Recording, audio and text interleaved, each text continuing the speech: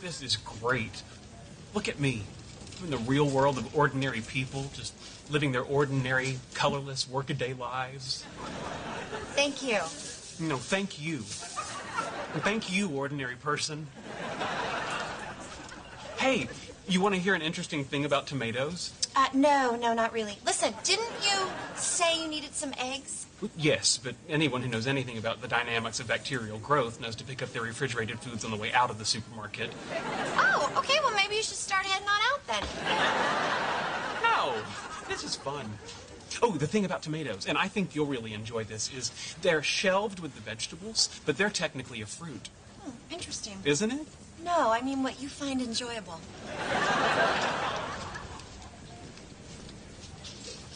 Oh boy. What now?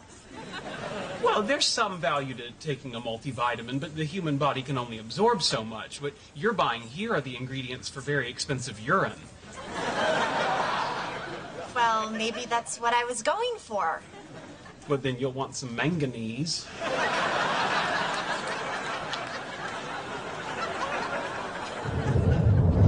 That was fun. Maybe tomorrow we can go to one of those big warehouse stores. Oh, I don't know, Sheldon. It's going to take me a while to recover from all the fun I had today. Are you sure? Uh, there are a lot of advantages to buying in bulk. Uh, for example, I noticed that you purchase your tampons one month's supply at a time. What? What? Think about it. It's a product that doesn't spoil, and you're going to be needing them for at least the next 30 years. You want me to buy 30 years worth of tampons? Well, 30, 35. When did your mother go into menopause? Okay.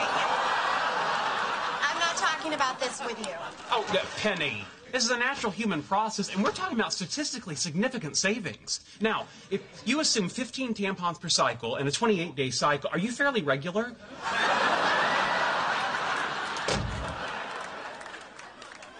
Okay, no warehouse store, but we're still on for putt putt golf, right?